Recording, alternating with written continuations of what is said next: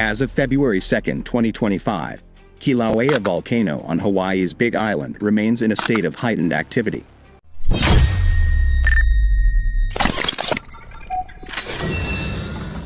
With the U.S. Geological Survey's Hawaiian Volcano Observatory, HVO, maintaining a vigilant watch over its developments. The current eruptive phase, which began on December 23, 2024, has been characterized by a series of episodic lava fountains within Halemaumau crater, situated at the volcano's summit caldera. Eruptive episodes and patterns. Since the onset of this eruption, Kilauea has exhibited seven distinct eruptive episodes, each marked by vigorous lava fountaining and effusion. These episodes have varied in duration, lasting from as short as 13 hours to as long as 8 days, and have been separated by pauses ranging from less than 24 hours to up to 12 days. The most recent episode commenced on January 27, 2025, at 6:41 p.m. Hawaiian Standard Time, featuring lava fountains reaching heights of approximately 100 to 120 feet on the north side of Halemaumau crater, feeding multiple lava streams.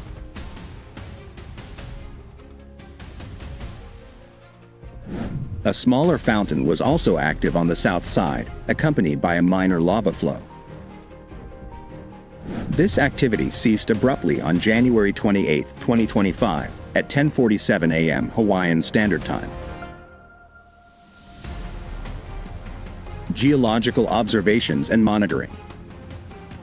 Throughout these episodes, HVO scientists have closely monitored various geological parameters, including seismic activity, ground deformation, and volcanic gas emissions.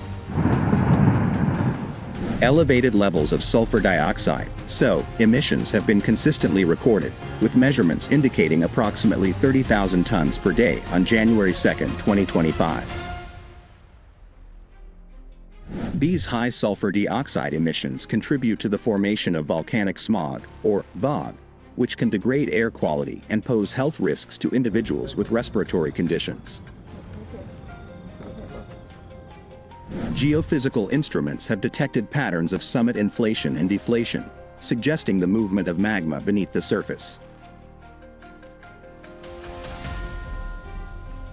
The episodic nature of the eruptions, characterized by periods of heightened activity followed by pauses, indicates a complex interplay between magma supply and pressure within the volcano's plumbing system.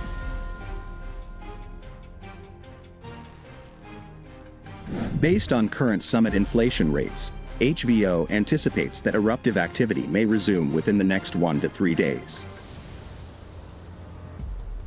Impact on Hawaii Volcanoes National Park and Public Safety The ongoing volcanic activity is confined within Halemaumau crater, located within Hawaii Volcanoes National Park. While the immediate eruption site remains closed to the public due to safety hazards such as unstable terrain and volcanic gases, several designated public overlooks offer safe vantage points for viewing the eruption. Park officials emphasize the importance of adhering to safety guidelines, staying on marked trails, and being aware of potential hazards, including exposure to volcanic gases and fine volcanic glass particles known as Pele's hair. Visitors are advised to check the National Park Service's official channels for the latest information on area closures, air quality advisories, and viewing opportunities. The dynamic nature of volcanic activity necessitates flexibility and caution for those planning to observe the eruption.